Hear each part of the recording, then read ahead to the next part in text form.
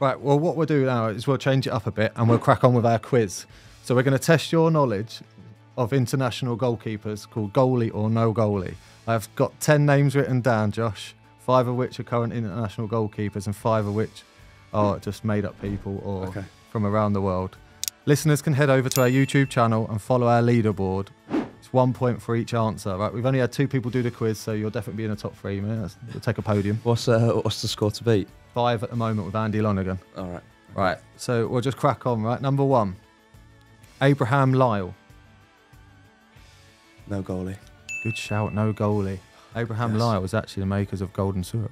Should know that, yeah. you actually knew that? No, should do. I've Why? heard that before. Right, number two, Devis Epassy.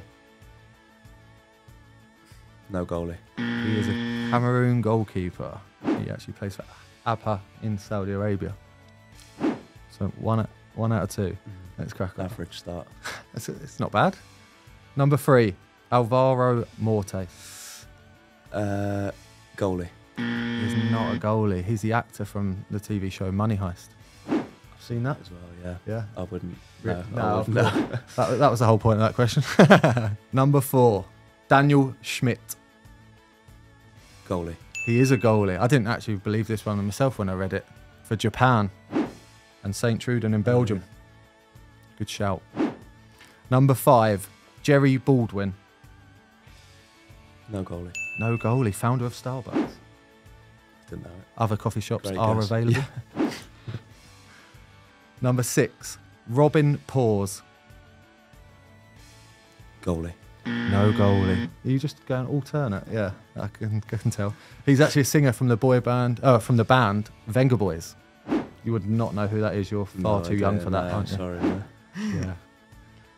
Number seven, Sean Johnson. Goalie.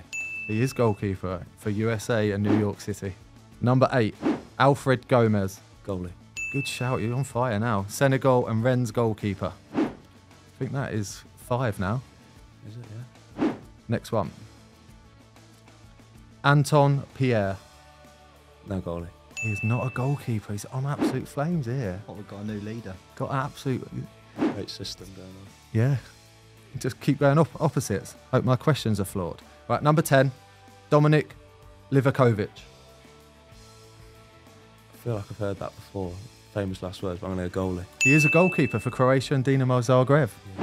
On absolute fire there, mate. Is it you know your knowledge or just very good at guessing? Uh, I knew that one and one other, but apart from that, I will be honest. nice, superb that.